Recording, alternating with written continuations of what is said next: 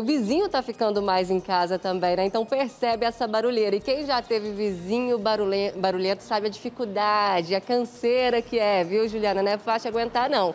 Só este ano a UMA já registrou mais de 6 mil denúncias aí de perturbação do sossego. Sobre esse assunto eu converso agora aqui com o Renato Medeiros, que é gerente de fiscalização ambiental aqui da AMA. Renato, bom dia para o senhor. Dia. Conta pra gente, na pandemia esses números aumentaram bastante. Ano passado também foi um número de números, foi um ano de números recordes aí de denúncias, né? Por que disso? Tem um motivo?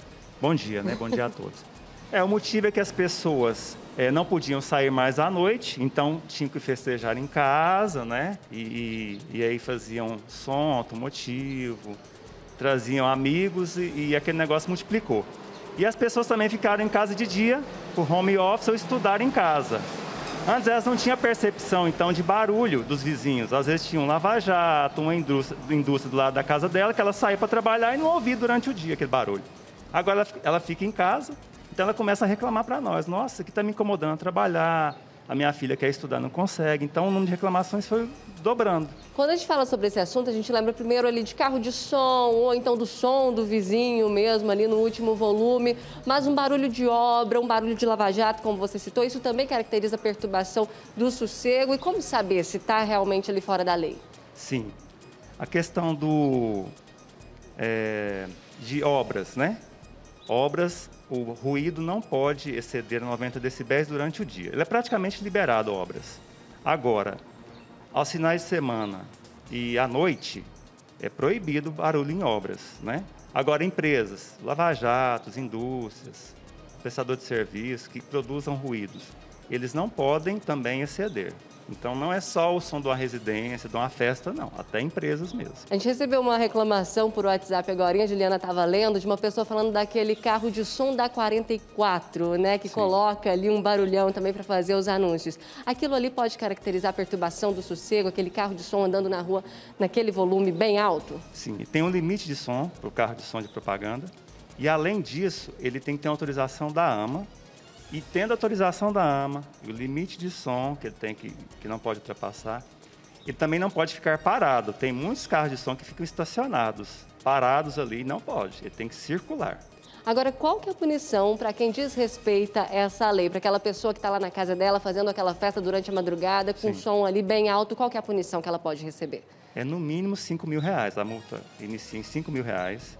Todas as autuações nossas são baseadas no Decreto Federal 6514 de 2008, que regulamenta as sanções administrativas do, da Lei de Crimes Ambientais.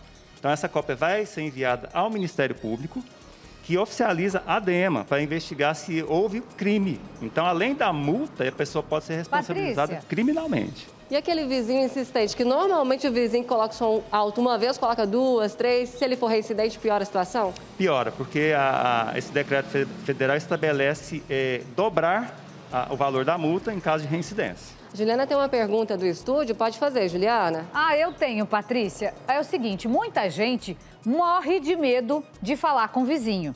Ah, só podia baixar aí, vai lá com toda a educação. Tem gente que vai já caçando briga, né? Baixa esse negócio aí, já vai xingando. Mas tem muita gente, Patrícia, que tem medo de falar com o vizinho, porque muitos desses casos viram rixa, né? E aí, chama a sua ama, tem que chamar a ama e a polícia junto. O que, que a pessoa faz, Piaça? Até porque pode ser perigoso, né, Juliana? A gente nunca sabe o vizinho ali, o humor dele, né?